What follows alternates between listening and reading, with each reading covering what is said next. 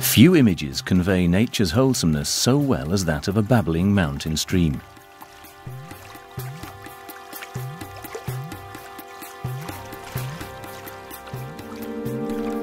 At each stone, the water whirls and draws in air.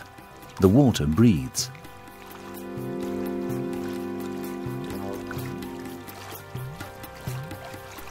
In The Spiraling of Water, the Austrian natural scientist Viktor Schauberger recognized a basic form of movement in nature. His aim was to imitate the spinning movement in technical devices and thus produce naturally inclined, environmentally friendly energy.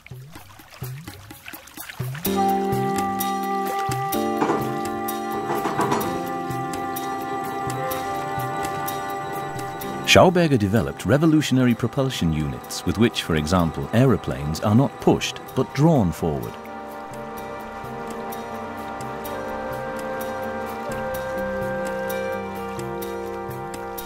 Viktor's son, Walter Schauberger, searched for a mathematical formula to explain his father's findings. He designed a funnel based on the hyperbolic spiral in which the stream of falling water formed a dramatic spiral pattern.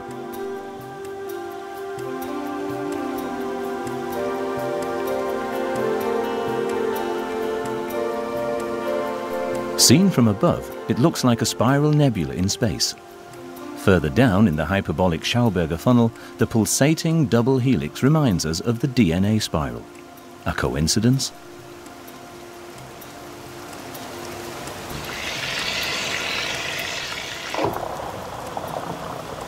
The turbulence creates a stable pulsating structure out of swirling chaos, a pattern of natural self-organization there for us to understand and then copy in Viktor Schauberger's view.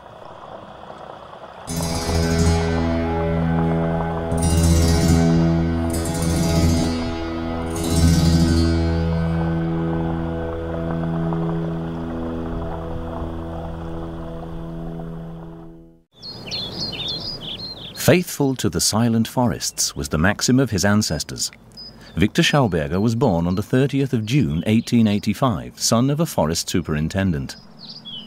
The house where he was born in Holzschlag in the Mühlviertel region of Upper Austria.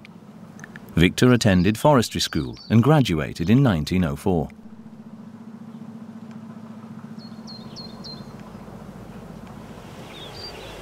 In remote districts, Viktor could observe the woods in all peace, areas as yet untouched by humans. His observations over many years in this natural environment crucially shaped his later life's work.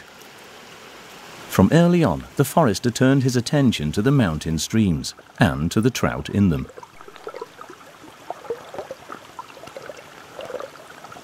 Viktor Schauberger recognized that the fish do not only swim against the stream, but that the water itself can flow in opposite directions. He himself started to go against the tide of current doctrine.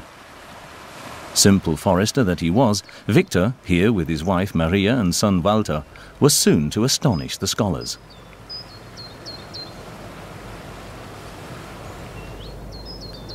The border between Austria and the Czech Republic runs not far from the house where he was born on the edge of the Böhmerwald Wood.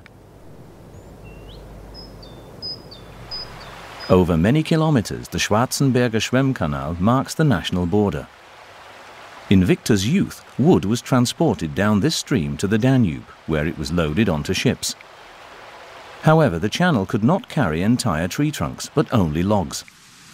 Viktor Schauberger was to become well known for his logging flumes with a much greater carrying capacity.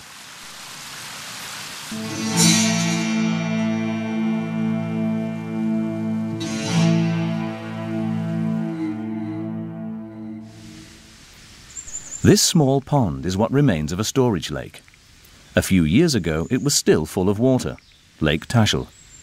And 80 years ago, innumerable felled trunks floated in it, especially in the spring. In 1929, a documentary was filmed here. The forester Schauberger used his knowledge of the powers inherent in water to build a modern logging flume in the Mürz Valley in Green Styria.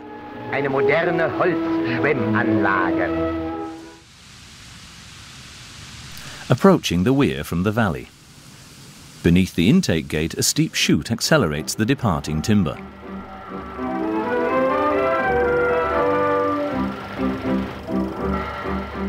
In man-made channels, heavy trunks floated down to the valley, even logs heavier than water. How was this possible? The first intermediate dam is reached. Due to the fact that cold water carries better than warm, the water that's been warmed up by sunlight, velocity and frictional force along the way has to be replaced by new cold water. Today there are only ruins left from the intermediate dam. But Viktor Schauberger became well known for his logging flumes far beyond the Austrian borders. Similar log chutes were built to his designs in former Yugoslavia and Bulgaria. It is not documented whether this man with the flowing beard is actually Viktor. Final destination, the sorting plant in Neuberg on the Mürz, another little marvel. The big trunks slide over a drop and the smaller ones fall through.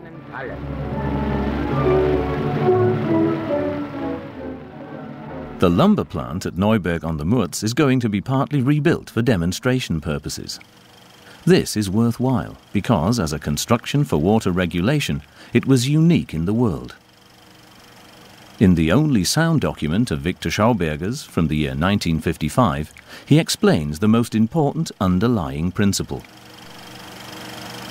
Man fließendes Wasser durch eine bestimmte Bewegung rekreiere, erfrische dann erreiche ich den Anomaliezustand, die, die höchste Dichte, die größte äh, Schleppkraft.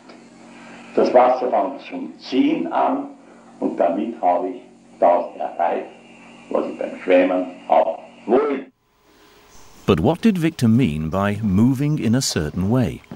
His grandson, Jörg Schauberger, offers further details.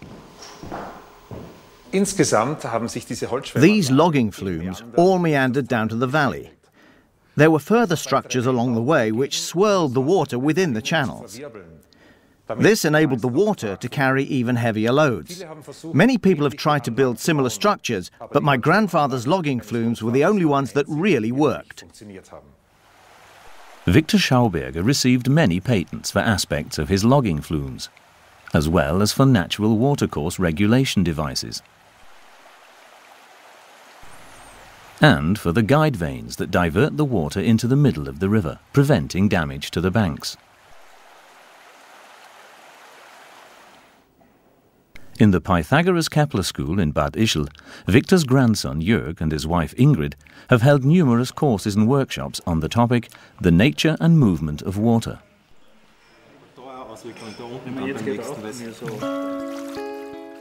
In his own way, Viktor Schauberger analyzed the meandering movement of a natural watercourse and described it in detailed drawings. His conclusions are valid for all rivers. However, Viktor's unorthodox proposals for regulation of the Rhine and Danube were ignored by the experts. Even on a smooth window pane, water doesn't flow straight down but starts to meander. A pulsating space curve develops, According to Schauberger, a river doesn't just flow, but winds itself forward. A river rotates in its bed. Put simply, it swirls. In the bends, the current is fiercest, ripping up and grinding the boulders in its bed. In Viktor's words, the river chews up its stones. The minerals contained in them are food for the water. When the turbulence diminishes, the sediments slowly settle down again. Where the river deposits the most, a ford is formed.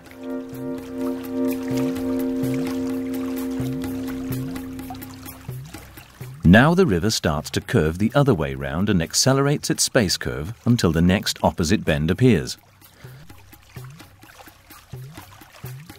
Viktor Schauberger called this alternation between the left and right-hand curves with fords in between a curve or river generator.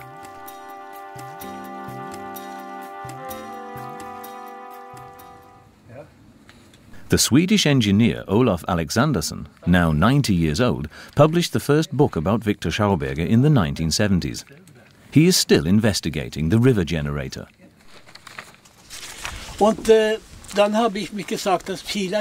And then I said to myself, if a charge is built up here, then maybe it can be measured with an ammeter.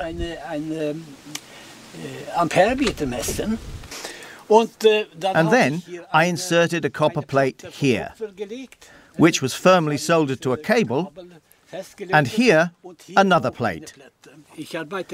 I used a copper cable about 10 meters long. I got a registration. Here I had a pulsating direct current. It was a generator. I also measured in a straight stream, and there it was very bad. It was like a dead river. There were long stretches that had no charge at all.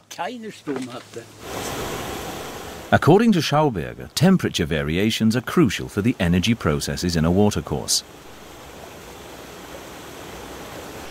Even the slightest differences in temperature cause the different layers in the water to flow faster or slower. The water rubs against itself, bringing about ripples and vortices. A positive consequence is that the river slows itself down. In 1930, the Austrian Academy of Sciences confirmed the receipt of a sealed envelope entitled Turbulence. In it, Schauberger described his theory about the interdependence of water temperature and movement. The Academy kept the document under seal for 50 years a confession that the time was not yet ripe for unlettered Schauberger and his practical perceptions from nature.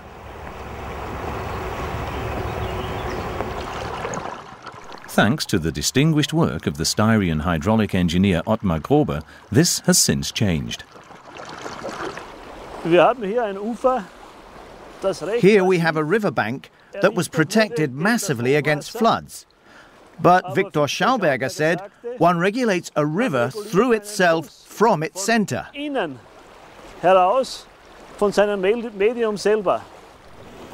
Normally, hydraulic engineers shore up the riverbanks with stones. Grober does it differently and, incidentally, more cost effectively. He places the boulders in a river, like here in the Salza. The stones are deposited to form a chute. And then Grober had the idea of building an even larger chute in the longest river in Styria, the Mur. The rocks, each weighing a couple of tons, are mechanically placed into the riverbed at low water.